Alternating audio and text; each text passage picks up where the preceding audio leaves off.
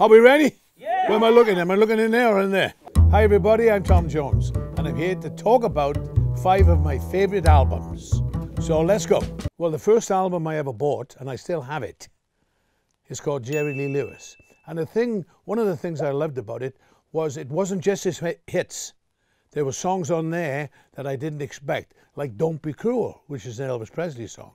But you hear Jerry Lee do it, then you realize why they called him the killer. Sometimes people say to me, wow, you've sung with everybody, you've met everybody. Well, I've met a lot of people and I've sung with a lot of people. But the one person that I would have loved to have sung with is no longer with us, which is a terrible shame. And her name is Amy Winehouse. And Back to Black, for me, is one of the best records ever made. Soundtracks of movies. Well, one of the biggest soundtracks, British soundtracks, uh, in a movie was uh, The Full Monty.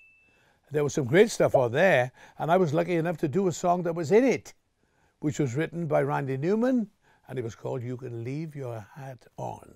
One of my favorite albums is, a, an album called Talking Book, which was made by Stevie Wonder.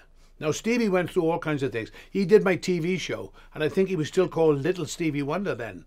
You know, it was in the 60s. And um, he, he has sort of gone from strength to strength uh, he's he's an innovator. He's the music that he created is fantastic, and he's still doing it today. Well, I have a rare record, and it's by Hank Williams, uh, Luke the Drifter, Beyond the Sunset.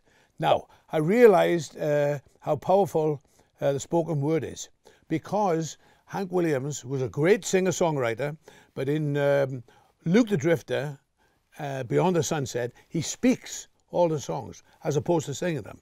And it came across to me loud and clear. So that's why on um, Surrounded by Time, my new album, I've got two songs on there that I speak as opposed to sing. And I think they're very important. And those are five albums that influenced me, Tom Jones.